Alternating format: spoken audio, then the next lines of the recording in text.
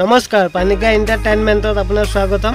আপুনি দেখিবলৈ পাইছে নিশ্চয় হোজাই ৰেলৱে ষ্টেচন এতিয়া আমাৰ পুৰণা টিকেট কাউণ্টাৰটো এতিয়া নতুন বিল্ডিঙত আহি গৈছে।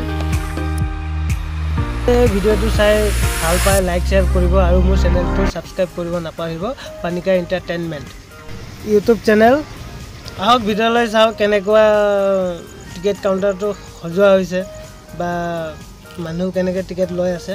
সুবিধা কেনেকুৱা? সেইবোৰ আপোনালোকক দেখুৱাম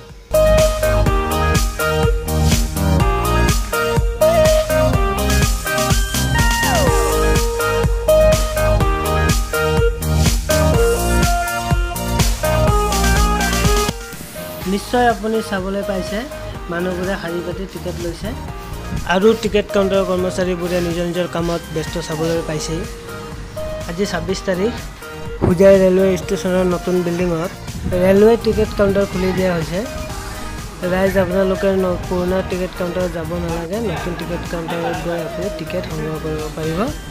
যাতে আমাৰ ৰেলৱে কৰ্মচাৰীবোৰে সকলো কামত সহায় কৰিব।